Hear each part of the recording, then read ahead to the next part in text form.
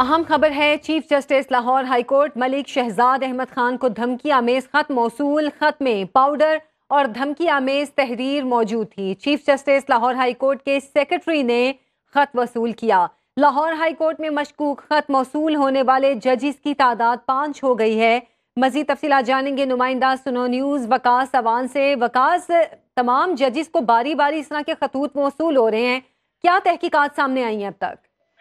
जी देखिए, आज सुबह से ही लाहौर हाई कोर्ट के जजेस को जो है वो मशकूक खतूत मसूल होना शुरू हुए हैं। सुबह चार जजेस को हत मसूल हुआ था। अब जो है वो chief justice Lahore high court justice Malik Shahzad Ahmad Khan को भी मशकूक हत मसूल हुआ है। उनके सेक्रेटरी ने यह हत वसूल किया है, जो कि चीफ जस्टिस के नाम था, जिसमें जराये के मुताबिक पाउडर भी थी पाउडर था और तहरीर भी दर्ज थी उसमें और धमकी अमेज तहरीर थी। लेकिन इससे पहले लाहौर हाई कोर्ट के चार जजेस, जिनमें सीनियर तरीन जज justice Shujaat Ali Khan justice Shahid Bilal Hassan, justice Aalia Neelum, justice Abid Aziz Sheikh और उसके बाद अब chief justice Lahore high court को ये खतूत मसूल हुए हैं। आज सुबह से ही लाहौर हाई कोर्ट में पुलिस की इजाफी नफरी तैनात थी उन खतूत को कब्जे में भी लिया गया और उसके बाद जो है वो और उसके बाद जो है वो फिर अभी तक तहकीकत जारी है लेकिन ताहाल ये इन खतूत से मुतलिक कोई मालूम नहीं मिल सकती कि ये खतूत कैसे पहुँचाए गए हैं। अलबत्ता एक कोरियर सर्विस वाले मुलाजिम को जो है वो सुबह हिरासत में ज़रूर लिया गया था लेकिन अब तक तफ्तीश सामने नहीं आई है। ठीक है बहुत शुक्रिया वकास सवान तफसीत बता रहे थे।